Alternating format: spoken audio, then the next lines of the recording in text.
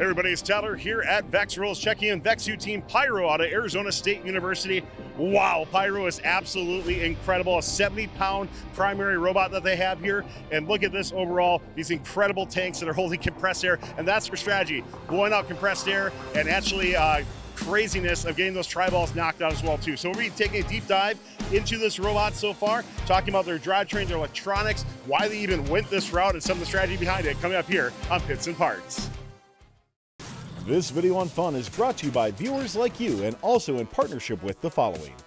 The Robotics Education and Competition Foundation provides fantastic programs for students from elementary school all the way through college. These include VEX, aerial drone competition, online challenges, JROTC, Girl Powered, scholarships, certifications, and so much more. To discover these exciting opportunities, visit recf.org and get connected. Kenneth, we got to go into the why factor here of this robot here. like, this is an incredible machine, but why did you even choose to go this route? How did you even come up with this sort of strategy in the first place? So we originally came up with this strategy last year when we realized that the VexU rules allowed us to use uh, air to descore uh, game elements. Because usually the rules aren't explicit about uh, descoring being against the rules, it's about how you descore. So by using air, we can uh, get around those rules and do things that we wouldn't normally be allowed to do. For instance, the for this for this game, you can only descore when you're double zoned. By using air, you can descore the goal without actually entering it. So you can descore at any time, which is a, a, huge improvement in the reliability of the robot because your strategy can be consistent. It doesn't rely on what your opponents do. Something I want to ask you. Uh, I was told by somebody else that that was kind of like the first question asked in the Q and A this year, is in regards to if that strategy was legal. So when you saw that, uh, that that was something that was okay. Was this immediately to the thought of just having these massive tanks, or like how did you go about like getting to this product itself? Yeah, definitely. So Max from uh, team VexU team Ghost asked that question, and we were originally like super disappointed because we already had it on our minds because we you know we just came out of uh, using an air tank last year to sure. score. So we, of course, that was an idea we had, and it was like, oh no, they're, they're going to say it's not allowed. We were we were so afraid it was going to get ruled illegal, and they didn't. They said it was fine. So it was like, well, I guess we got to do it. We got to do something with this, right? Um, yeah. Cool. And looking at you know this robot here, obviously, like going into, we're not going to go too much into your other robots as well. But what sacrifices did you have to make when you build something like this for your second robot that is much more mobile on the field? What kind of sacrifices did you have to make in regards to limiting that other robot as well? Yeah. So this robot is huge, heavy, and it cannot go around the field very much. So that means because it has like no other mechanisms other than descoring, there is like no tandem strategies. We can't, the other robot has to stay on the other side of the field because this one can't cross. So unless, unless if the if the 15 inch comes onto uh, the side of the field that this side's on, this spot's on, then we we're double zoning and we could get descored on. Additionally, it gets in the way. We have to move it out of the way in auto so that we can actually like use the match load zone and other things like that. And since it, the only thing this robot can do is descore, the other robot has to try to pick up all that slack from this robot not scoring or match loading or anything. You and I were talking uh, earlier, kind of a funny story is with this robot being 70 pounds, that uh, inspection was kind of an interesting process uh, for you to get away. Can you just tell me more about that? Yeah, definitely. Uh, well, they, they don't let us, uh, they wouldn't let us roll this in uh, over the carpet, so we had to we had to carry it. It takes two people to carry this. So to get it on the field or the inspection table, we have to have two people carry it. And then because of how uh, different this robot is, they uh, immediately had to call the higher ups to get them to uh, give us give, give the go ahead. I think that's a compliment, really. Yeah, if you think definitely, about that, so. we're, we're flattered. Uh, and then the run 70 pound robot on here. Talk to me about your motor config in regards to your drivetrain. Break all that down, how your drivetrain works. Yeah, so there are 17 motors on this drive, which is fine for VexU because we don't have a motor limit. So, oh, so, so, so 17 motors on the robot. One of the motors is used to spin the barrel. The drivetrain has 16 motors on it. So each side has eight. Uh, and since it's a mecanum drive, there are uh, uh, four motors per two sets of wheels. Um, can we can we lift it up so we can see the bottom? So there's four motors that you can see on either side on the outside, and then there's four motors underneath near where the air tanks are. So what's the total wattage of this then? Um, about 172. Okay. So something I want to ask on here is talking about some of the testing that goes into this as well too. I mean, I, I cannot imagine like the process that went through in regards to like, hey, this robot got made. Now we got to actually figure out if it works and that sort of thing as well too. So uh, in a moment, let's pass over to Charles to talk more about uh, the testing behind it as well. Uh, we're not going to fire it off in here. We got some great footage of that otherwise, but we'd love to just see that barrel rotate a little bit more and, and talk to me about how it works. Yeah, sure. So when we have a, a, a controlled air a release of air like this, where there's a lot of air, there's a lot of energy involved, we want to do a lot of testing to make sure that we characterize the behavior of the system very, very well. So we tested at a variety of pressures, at a, and we also measured sound levels at a, a, a variety of distances, just to make sure that we're not going to hurt people's ears and stuff like that. And ultimately, we did discover that it is fine for like uh, hearing and stuff like that. It's not going to hurt people's ears. Um, it's within OSHA limits and stuff like that, uh, unless you're just sitting right next to it for an entire day. Sure. Um, it only happens for a fraction of a second, so the, the sound levels are not that big of a deal. Um, and we can also, yeah, so uh, one thing I can also talk about is the uh, slip ring that's on the back here. So the, the um, tanks are actually have powered solenoids wiring to the tanks that rotate in here. And the tanks can rotate continuously.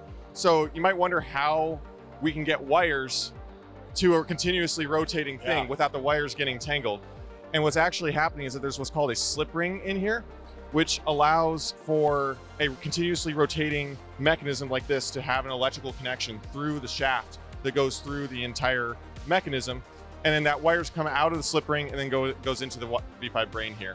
So that way we're able to have a continuously rotating mechanism that has electronics on it. So last year we had on our air tank, we had a large ball valve that was actually run using V5 motors. We needed four motors just to actuate the one ball valve and it would often get stuck. It was a big problem last year. Last year we had to fill up the tank like a minute before our match, otherwise it just wouldn't open. We wanted to fix that for this year. So these tanks don't have ball valves on them. They have this, uh, they come like this from the, the, the off, they're off the shelf like this. These are pneumatic valves inside of here they use the, a difference in pressure between inside the tank and atmosphere to push this back and and open the open the air uh, tank. This results in the air coming, the, the valve opening a lot faster than the ball valve, and it means they're a lot more effective. And so to do this, there's a there's a switch right here that vents to atmosphere. We tried using a solenoid to do it, but it did directly do it, but it didn't have enough of a, high enough flow rate. So this little switch is the manual switch that is on the tire seater that, the, that the user would use to open the valve. So we have a cylinder that that that physically pushes the switch, and this cylinder runs off of air from inside the tank. So this is all a self-contained. Each tank is its own self-contained system and triggering. And then this solenoid is what actually uh, fires the tank by uh, by pushing that button. And then that's those that that power is what goes through the slip ring and gets uh, controlled by the brain. I want to ask you uh, from the testing on this, what made you determine like these were the right size accumulator tanks that you want to go with uh, on your robot?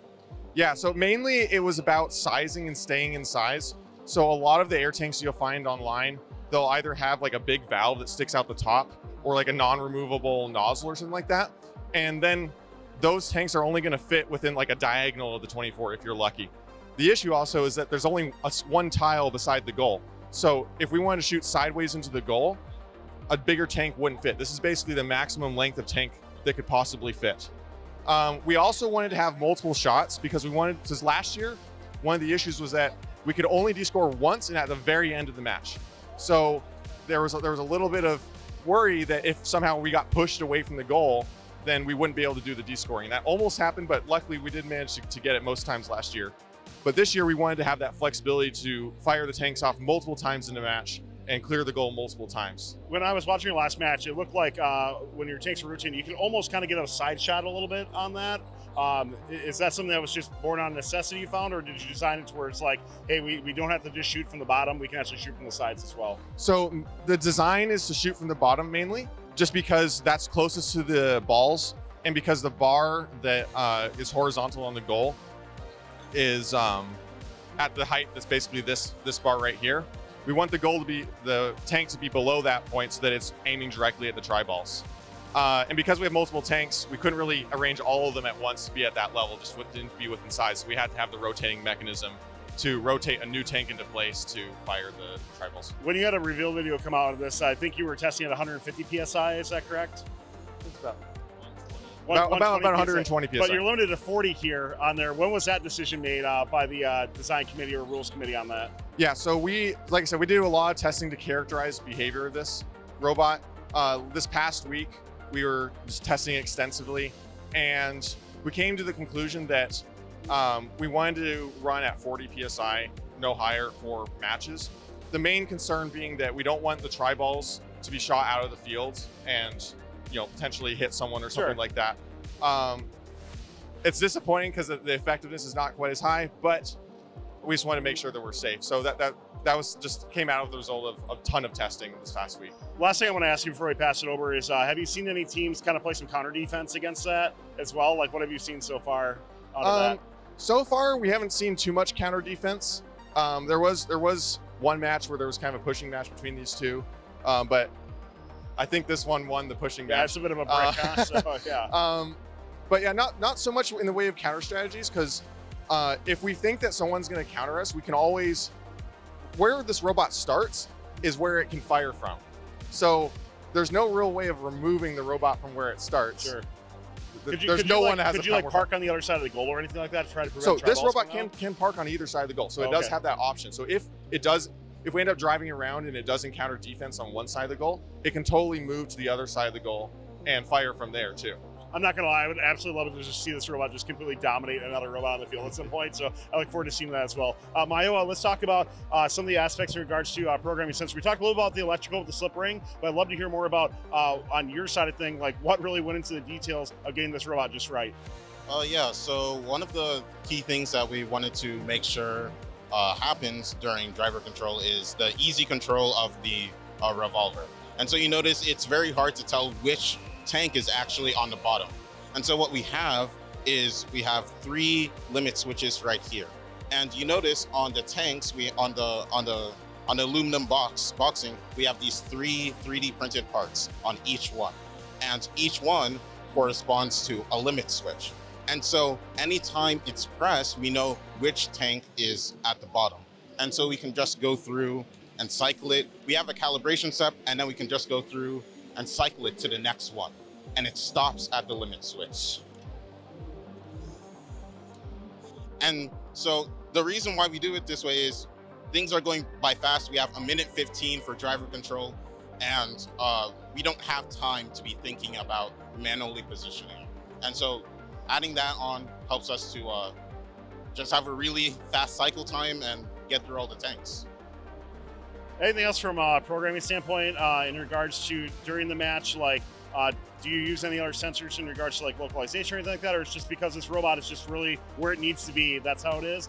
Um, is there anything from your secondary robot that you maybe takes into consideration on that? Yeah, sure. So in terms of localization, uh, on the 15 inch, because the 15 inch moves a around a lot more in autonomous, the 24 inch kind of just gets out of the way and touches the bar for AWP. Whereas the 15 inch has to do almost all the scoring Yeah. in auto. Sorry, all the scoring, not almost all the scoring. And in order to make sure that our autonomouses are reliable and accurate, we have odometry wheels here. These odometry wheels are using uh, off-the-shelf RS45 absolute position encoders. These are similar to the V5 rotation sensor, except they're four times the resolution, and they communicate digitally with the V5 brain over the smart ports. Um, we also have custom uh, uh, odometry wheels here, and because the wheels are smaller, that allows us to measure the distance between the wheels more accurately, which allows us to get a more accurate uh, heading measurement on the robot. And then they're also sprung on custom 3D printed encoders, sorry, custom 3D printed enclosures so that they're always in contact with the ground. And then in order to power the, uh, I'm not sure if it's that, yep. in order to power the um, encoders, we have these custom uh, PCBs that we've designed and manufactured that in, in that allow the RS-45 communication to pass through the brain, but then convert the brain's 12 volt power into 5 volt power for the encoders, which allows us to use them. So, Awesome. Well, Pyro, what a phenomenal uh, set of robots you have here. This is definitely the coolest one I've seen so far. So, uh, really great to see it uh, function on the field as well too. So, congratulations on your innovative design for sure, and good luck here at uh, Vex uh, Vex Worlds as well too. Thanks a lot. Thank you, Tyler. This video on fun is brought to you by viewers like you and also in partnership with the following. The Robotics Education and Competition Foundation provides fantastic programs for students from elementary school all the way through college. These include VEX, aerial drone competition, online challenges, JROTC, girl powered, scholarships, certifications, and so much more. To discover these exciting opportunities, visit recf.org and get connected. Don't forget to like, subscribe, and ring the bell to stay up to date on our new videos. Keep the conversation going and provide your input to our content. Most live shows can be found on the First Updates Now YouTube channel, live competitions at twitch.tv slash First Updates Now, and join our Discord at discord.gg slash First Updates Now. Check our other social offerings on TikTok, Instagram, Facebook, and Twitter.